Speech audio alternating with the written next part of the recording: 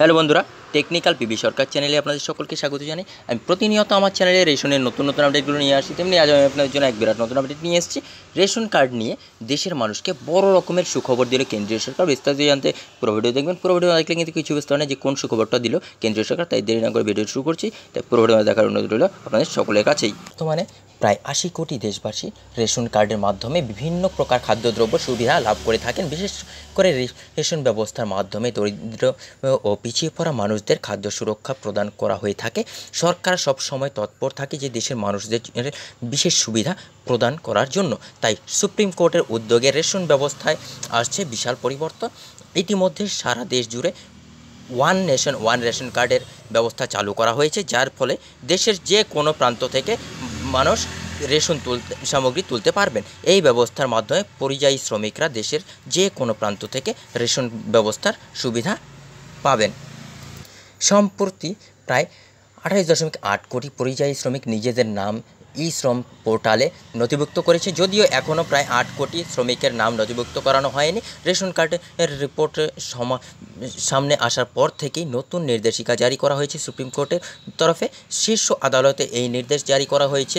বলা হয়েছে যে, রাজ্যের ও কেন্দ্রীয় শাসিত অঞ্চলগুলিতে সমস্ত পরিযায়ী শ্রমিকদের রেশন কার্ড দেওয়ার ব্যবস্থা করতে হবে। সম্প্রতি বিষয়টি দেখছেন বিচারপতি এম আর শাহ এবং বিচারপতি আসাউদ্দিন আমানুল্লাহর তারা নির্দেশ জারি করে বলেছেন যে এই এই সমস্ত পরিচয় শ্রমিকরা যাতে রাজ্য সরকারের এবং জাতীয় সুরক্ষা কমিশনের আওতায় সব রকম সুবিধা পেতে পারেন, সেদিকে বিশেষভাবে নজর দিতে হবে।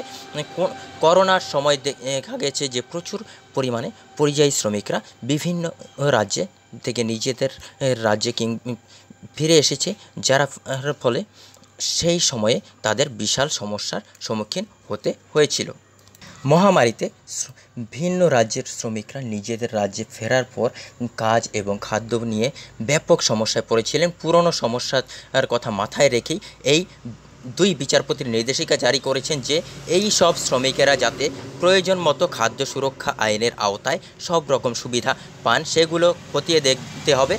জাতীয় খাদ্য সুরক্ষা কমিশন ই শ্রম পোর্টালের সামঞ্জস্য রেখে কাজ করতে হবে। কেন্দ্রের একটি রিপোর্টের ভিত্তিতে বলা হয়েছে যে, এনএফএসের আওতায় প্রায় আটাত্তর কোটি উপভোক্তাকে আনা হয়েছে, কিন্তু আর তার মধ্যে এখনও আট কোটি শ্রমিকের কাছে রেশন কার্ড নেই। এই প্রসঙ্গে শুনানি হওয়ার পর আদালত নির্দেশ দিয়েছে যে, যেসব শ্রমিকরা রেশন কার্ড পাননি, তাদের রেশন কার্ড পাইয়ে দেওয়া সম্পূর্ণ দায়িত্ব রাজ্য এবং কেন্দ্রশাসিত অঞ্চলগুলির।